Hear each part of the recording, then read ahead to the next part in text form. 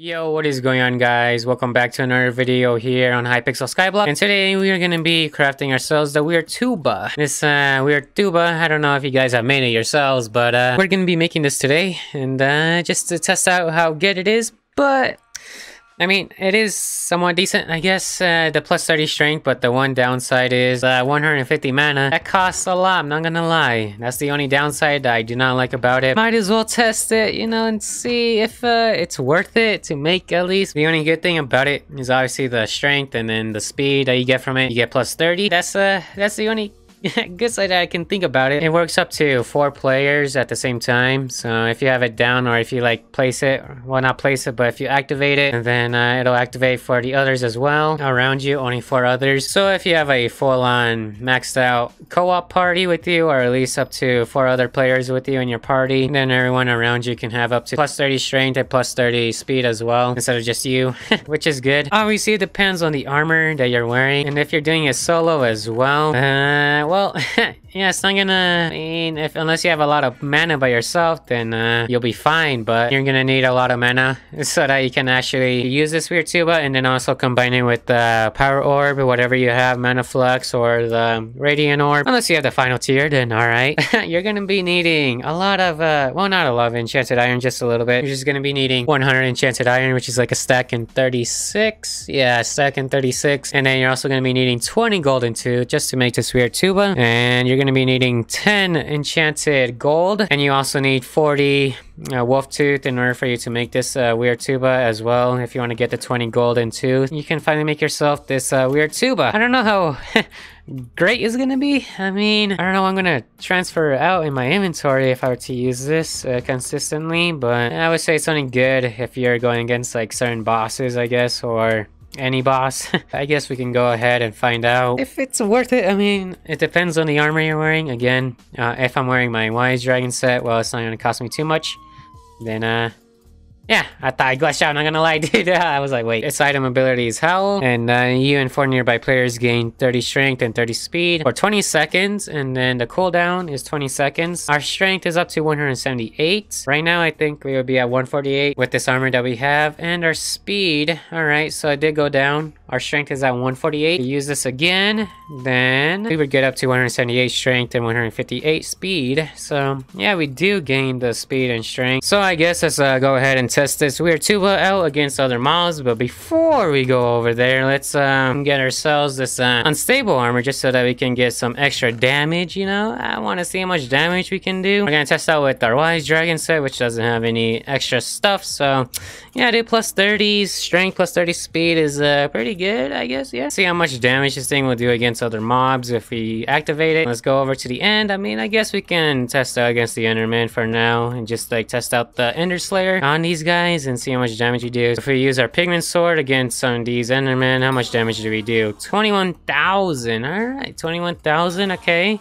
21,368 and then with the Raider Axe we do up to uh, we do 16,000 all right so 16,000 Raider Axe and then 21,000 for the Pigman Sword and then uh, let's go ahead and see how much damage you do. So that was with this strength with our stats right now and then if you hold our Pigman Sword our strength is at 273 and then if we activate this we would get up to 330 three maybe? Let's see so we activate that. We have a few seconds so now we have 23,000 crit damage. So we went up uh 2,000 extra crit damage. I like that. If we don't get any regular damage obviously but yeah 23,000 and then with the Raider Axe we went up to 17,000 instead of 16,000 so we almost went up to like 2,000 because it was like 17,900 and then we had like 16,000 and I think yeah 16,244 so we went up a little bit you know almost 2k but we only went up like 1.7 7,000 extra crit damage. That's pretty good, not gonna lie. But that was with this Wise set without any extra crit damage or anything like that, extra strength. So let's wear our unstable armor. And uh, I think we did like 28,000. Yeah, 28,900. So yeah, 28,900 with the Pigman Sword and then our Raider Axe. 22,000, alright. And if we take a look at our stats, we have 313 strength and then 474 crit damage. So our strength went up by a lot and then plus 30, we would get up to 343 with the Pigman Sword. And with the Raider Axe, we would get up to, wait, 361? Hello? I get more strength on my Oh yeah, I do. 173 and then 125. Okay, Raider Axe, we're gonna have a lot of strength. That's kind of scary. So we would get up to 386 strength if we use our Weird Tuba. So if we use our Weird Tuba now and then test with the Pigman Sword, we do 31,000. Okay, and then a Weekend one. Eh, yeah, that doesn't really matter, the Weekend ones. Let's see. 31,000, okay. And then with our Raider Axe, let's see how much we do. So we do 45, 24,000 instead of like, what was it again? 22,000? So yeah, we went up like 2,000 extra crit damage. And then our Pigman Sword went up like 3,000, I think. Yeah, 28,000 to 31,000. And then our Raider Axe, Oh, well, and that was just 100% proc, the love thing talisman, whatever. So I think we did 21,000 with the Raider Axe.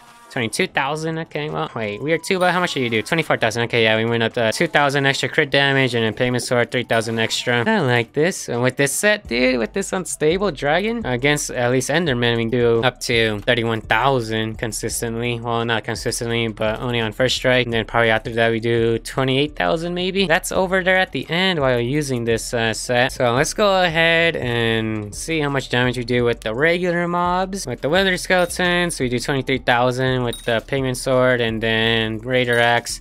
We do 17,000, alright. Let's uh, use our Weird Tuba and see how much Pigman Sword does.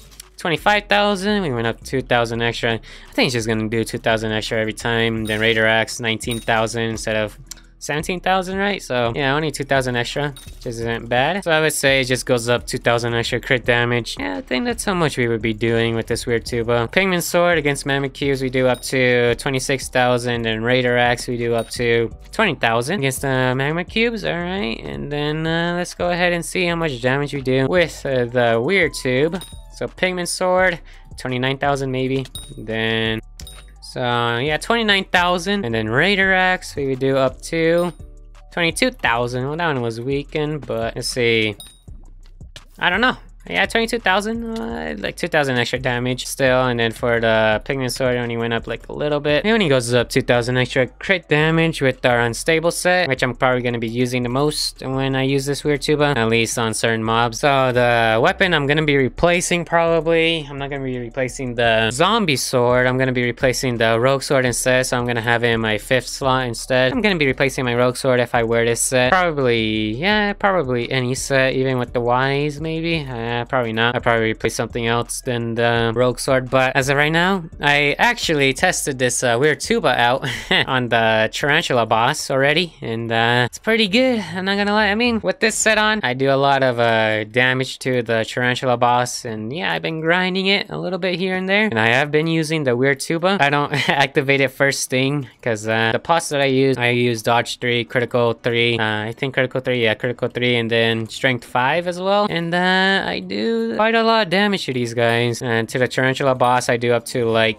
I think 28,000 with those pots uh, procced and with the pigman sword at least. And when I use the weird tuba, getting the plus 30 strength, I do up to 31 to 33,000 crit damage every time against the Brood Father. It's pretty good, dude. I mean, so you don't activate it first thing first. All right, you don't activate it first because uh, that'll mess you up for sure. You would have to uh, place down, okay, if you don't want to use your regeneration potion, I mean, I don't know about the Radiant Orb, but if you have the Mana Flux Power Orb, you should definitely place this uh, Power Orb first, the Mana Flux, and then after that, uh, obviously if you have enough mana, and if you don't, then just let the Power Orb regenerate your mana in order for you to actually activate the Weird Tuba, and then, you know, you slay the Tarantula boss here, and then you just activate the Weird Tuba, and yeah, you can just do damage to it. You don't really need regeneration pots uh, if you have the mana flux power orb to fight against the brood father. At least for me, I don't really need it. I just need power orb, mana flux, and then I can get the my health back up. So yeah, as long as I'm not away from the power orb, then I'm good. But if I am away from it,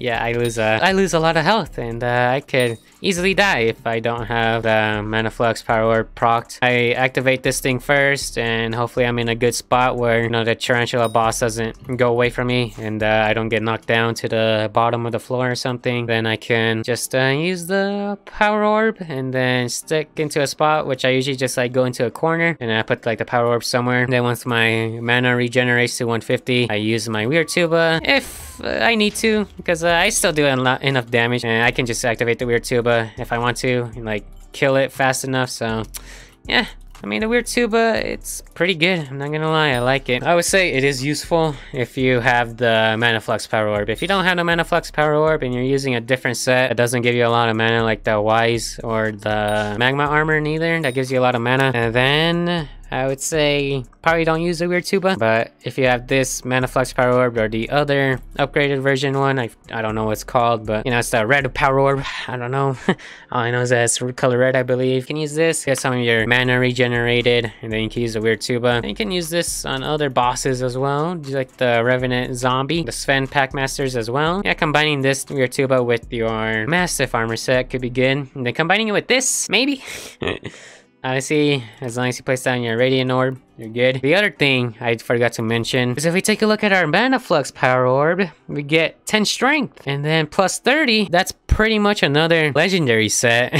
so yeah, plus 40 Strength. You know how you get like plus 10 Strength every each piece of your armor set on a legendary? If you either go for Godly or Strong, you get plus 10 Strength. And then if you go for Forceful, you get plus 15 Strength a piece. But uh, yeah, plus 10. And then uh, that's 40 total Strength. And then plus another 40. So you basically have another set of legendary with you if you use the Weird Tuba and the Mana Flux Power Orb together. Let's go ahead and see what the other Power Orb is. I wonder how much strength it gives you. But what is it called? The Overflux Power Orb. This one, wow, 100% base mana regen. Okay, so if you have this, it is definitely worth using the Weird Tuba. And then heals 2.5, yeah, that's good, you know. And it increases all heals by 5% and then grants 25 strength.